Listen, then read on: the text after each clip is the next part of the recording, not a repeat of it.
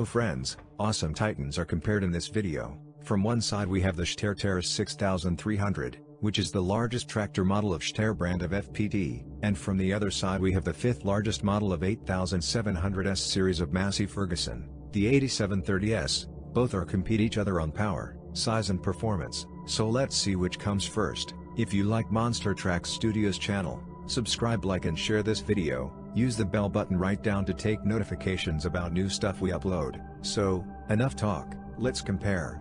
As about the engine, the Steyr is the common rail diesel of 6.7 liters and 6 cylinders, stage V. Ferguson from the other side wears a larger engine of AGCO power, with 8.4 liters and 6 cylinders also. The difference is big, Ferguson has way larger engine and this is an advantage in the fields. The gross power of Steyr is 300 horses at 2100 revolutions per minute and it can touch the 313 fully boosted. Ferguson has lower gross power, starting from 295 horses at 1950 revolutions per minute but it can boost on higher power, at 325. So Steyr has higher gross power but on higher RPM, but Ferguson can boost a higher.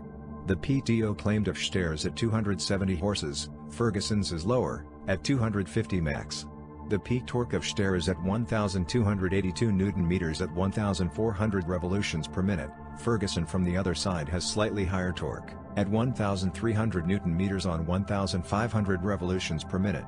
The rear hitch lift of Steyr is at 11,058 kilograms with the front one touching the 6,016 kilograms. Ferguson from the other side is higher rear lift, at 12,000 kilograms, but lower front, at 5,000 kilograms max. The top speed of Steyr is at 50 km per hour, with 2,100 revolutions per minute of rated engine speed, wearing the S-Control CVT transmission and a max fuel tank capacity of 630 liters and 96 liters AdBlue tank. Some of the cabine innovations are, Infomat 1200 integrated touchscreen color monitor, low noise level of just 66 decibels, cab suspension, air conditioner automatic climate control, DAB radio with premium loudspeaker, hands-free microphone, tablet and mobile mount with power sockets, plenty of storage compartments, dual motion driver seat with dynamic damping system, seat heating, seat cooling, swivel mounted headrest, active carbon inserts to control humidity, leather steering wheel, carpet, Maximo Evolution leather driver seat, active suspension with automatic adjustment, leather co-driver seat, LED lighting and more. Ferguson from the other side touches the 50 km per hour also with 1,950 revolutions per minute of rated engine speed,